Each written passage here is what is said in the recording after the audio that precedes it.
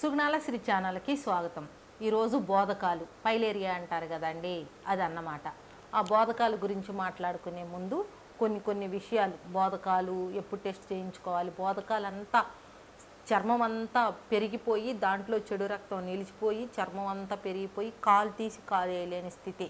ఇక అది బాగా ఎక్కువైపోయిందంటే పుళ్ళు పడిపోయి గలీజ్ అయిపోయిద్ది అన్నమాట దానికి దానికి ఇది నలభై రోజుల్లో తగ్గిపోయింది కరెక్ట్గా పర్ఫెక్ట్గా చెప్పింది చెప్పినట్టు కనుక చేశారు అని అంటే.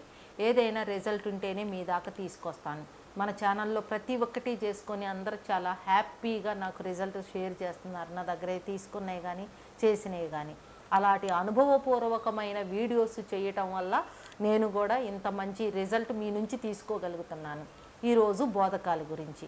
ఈ బోధకాలు ఈ దోమలు ఆడదోమలే గుట్టేది మగదోమలు కుట్టవన్నమాట. సంపర్కం అయిపోయినాక మగదోమలు చచ్చిపోతాయి. అవి ఆకు రసాలని పీలుస్తే కానీ మనిషి రక్తాలని పీల్చవు. ఆడదోమలే మంచి మనిషి రక్తాన్ని కూడా పీల్చేది. ఇక ఈ దోమ వచ్చి కుట్టింది అనుకోండి ఆ లార్వాల్ని వాటిల్లో వాళ్ళ మనిషికి వదిలేసిద్ది అనమాట ఆడ గుడ్లు పెట్టి అవి ఇది పెరిగి ఏవేవో నానా తతంగం చేస్తాయి.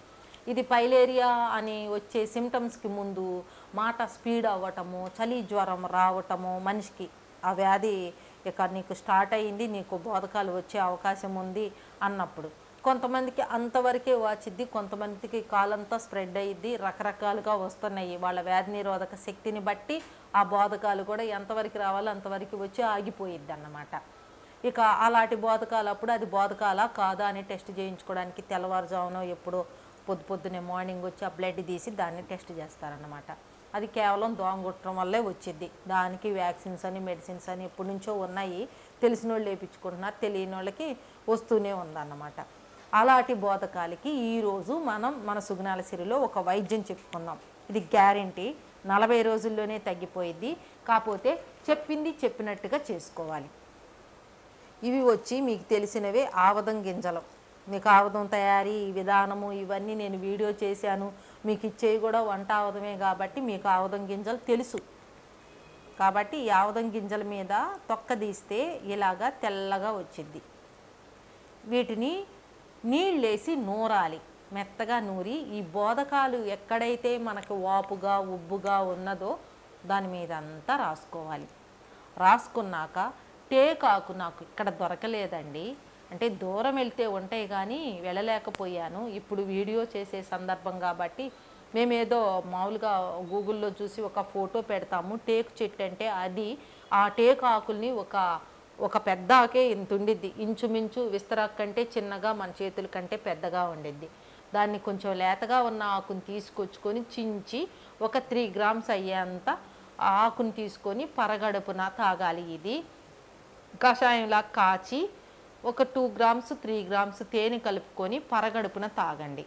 ఇలా ఫార్టీ డేస్ చేస్తూ ఉట్టి పాలన్నమే తినాలి. కూరలు గీరలు ఇలాంటి ఫార్టీ ఫైవ్ డేస్ పొద్దున్న తిన్న మధ్యాహ్నం తిన్న సాయంత్రం తిన్న పాలన్నంతోనే తినాలి. టేకు కషాయం కనుక తాగితే తప్పనిసరిగా ఎలానే చెయ్యాలి. కొంచెం దయచేసి పూర్తిగా వీడియో అంతా చూడండి. చూసి గమనించుకొని ఏం చెప్పామో వినండి.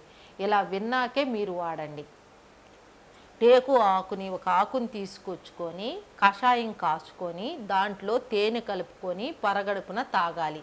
ఇది లోపల నుంచి మనకి హీల్ చేసిద్ది అన్నమాట కొంచెం పసుపు వేసుకున్న అది యాంటీ బ్యాక్టీరియల్ కాబట్టి ప్రాబ్లం ఏమీ లేదు ఆ కషాయంలో.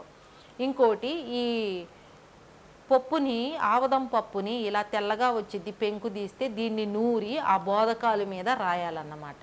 ఇలాగా మీరు కషాయం నలభై రోజుల్లో కల్లా ఎట్టి పరిస్థితుల్లో మొత్తం బోధకాలు తగ్గిపోయింది చిన్న చిన్నగా ఉన్నది. ఇంతలా బోధకాలు అయితే మాత్రం చాలా ప్రాబ్లం ఫేస్ చేసి ఉండేది కాబట్టి పుళ్ళు కూడా పడి ఉంటాయి. దాంట్లో వాటర్ వాటర్గా వస్తూ ఉంటాయి. దాన్ని అయితే నేను చెప్పలేను కానీ చిన్న చిన్నగా ఇప్పుడే స్టార్ట్ అయిన వాళ్ళకి నేనైతే హండ్రెడ్ పర్సెంట్ గ్యారంటీ ఇస్తానండి. మీరు ఈ కషాయం తాగుతూ ఉన్నప్పుడు పాలన్నమే తినాలి ఇంకా ఏ ఇతర కూరలు ఏవి తినకూడదు మళ్ళీ అవి తినొచ్చా ఇవి తినొచ్చా అని అడగొద్దు. కేవలం పాలన్నమే నలభై రోజులు తినాలి నలభై రోజుల కల్లా తగ్గిపోయింది. ఈ ఆవదం గింజల్ని పప్పుని నూరుకొని ఇలా పెట్టుకోవాలన్నమాట అది.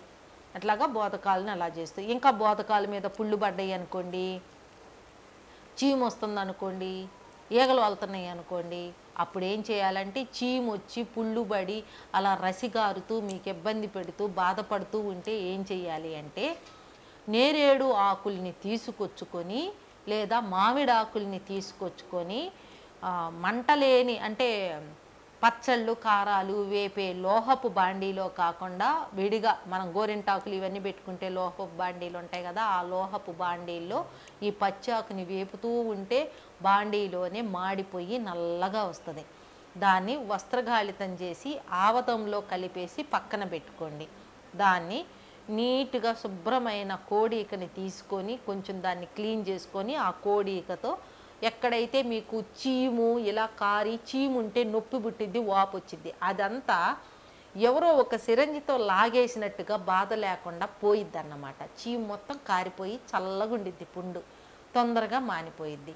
అలా చేస్తూ అతి మధురాన్ని తేనెలో కలుపుకొని దాని మీద ఇలా పట్టేసుకోండి తొందరగా మాడిపోయిద్ది. ఈ అతి మధురము రోజు సాయంత్రం టప్పుడు లేహ్యము మొత్తం ఓవర్ నైట్ ఇలా వేసుకుంటే దుమ్ము ధూళి పడకుండా ఓవర్ నైట్ ప్రశాంతంగా ఉండి హీల్ అవుతూ ఉండిద్ది. బోధకాలకి పుండు పడితే. పొద్దున్నే త్రిఫల కషాయం కాచుకొని గోరువెచ్చగా చేసుకొని రాత్రి మనం కడిగి మనము రాసి పెట్టుకున్న ఈ అతి మధురం తేనె ఈ లేహ్యాన్ని త్రిఫల చూర్ణ కషాయంతో గోరువెచ్చగా కడిగేయాలి. చీము ఉంటే మాత్రం ఈ మామిడికాయ ఆకుల్ని కానీ నేరేడు ఆకుల్ని కానీ బాగా మార్చి నూనెలో పెట్టేసుకొని ఆవదంలో కలిపెట్టుకు ఒక లేహ్యంలాగా లేదంటే ఒక ఔషధంలాగా పక్కన ఒకటి పెట్టుకేసుకోండి. పెట్టేసుకొని అట్లా చేసుకుంటే పుళ్ళు పూర్తిగా మారిపోతాయి. అదంతా చెడు రక్తం. ఆ చెడు రక్తంలో పురుగులు కూడా ఉండొచ్చు. అవి కూడా పడిపోతాయి.